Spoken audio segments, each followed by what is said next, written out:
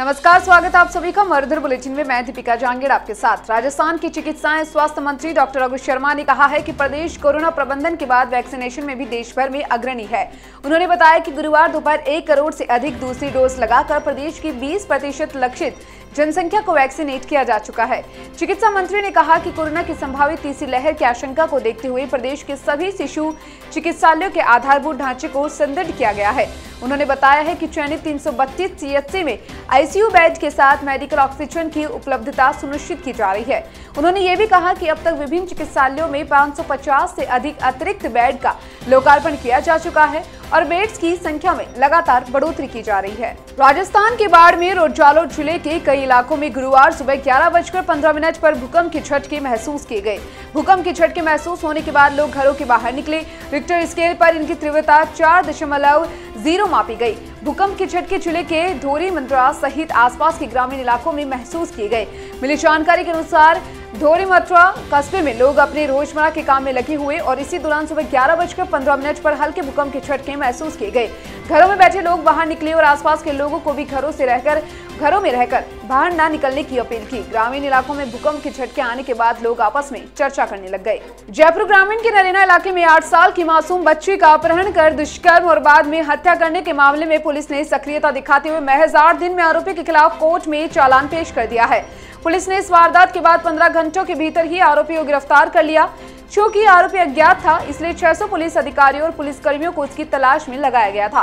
Police ने परंपरागत तरीकों का सहारा लेते हुए लगातार सर्च अभियान चलाकर आरोपी सुरेश कुमार को दबोच लिया था।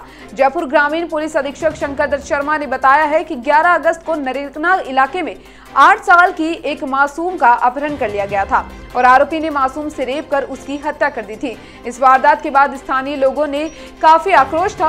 पुलिस ने तत्परता बरतते हुए महज 15 घंटे के भीतर आरोपी सुरेश को गिरफ़्तार कर लिया। हम आपको बता दें कि अतिरिक्त पुलिस अधीक्षक धर्मेंद्र कुमार यादव के नेतृत्व में एसआईटी का गठन किया गया।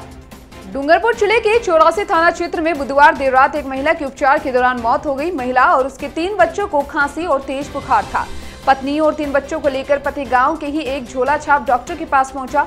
डॉक्टर ने महिला को जिप चढ़ाई और तीनों बच्चों को इंजेक्शन लगाया। डॉक्टर ने उन्हें घर भेज दिया। रास्ते में महिला की तबीयत ज़्यादा बिगड़ने लगी। इसी के साथ ही पति उसे निजी अस्पताल लेकर गया, जहाँ उसकी मौत हो गई। मामले में महिला के पति ने झोला छाप डॉक्टर पर इलाज में लापरवाही का आरोप लगाते हुए मामला दर्ज करवाया है। छोला चाप पाँच साल से गाँव में प्रैक्टिस कर रहा था। गाँव के लोग इसे माताजी वाले डॉक्टर के नाम से जानते हैं। अगर ईश्वर के प्रति आस्था गहरी एवं विश्वास सच्चा हो तथा आप में हौसला हो तो आपकी कोई भी शारीरिक कमी कभी भी बाधा नहीं बनती है।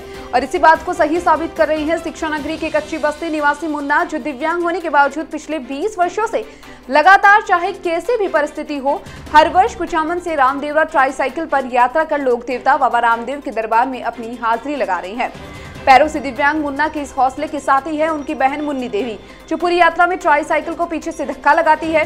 और आज भी मुन्ना एवं उनकी बहन मुन्नी देवी रामदेवरा की 21वीं यात्रा के लिए कुचामन बस स्टैंड से रवाना हुए, जहाँ पर लॉयंस क्लब कुचामन फोर्ज की संस्थापक अध्यक्ष लॉयन राम काबरा, इसी के साथ ही भाजपा युवा मोर्चा अध्यक्ष कमल राजौरिया एवं कई लोगों ने उन्हें माला एवं दुपट्टा पहनाकर तथा सफल यात्रा की शुभकामनाएँ देते हुए रामदेवरा के लिए विदा किया। फ़िलहाल के लिए सिर्फ़ इतना ही और तमाम खबरों में बने रहने के लिए आप जुड़े रहिए मरुथुर बुलेटिन के साथ। नमस्कार।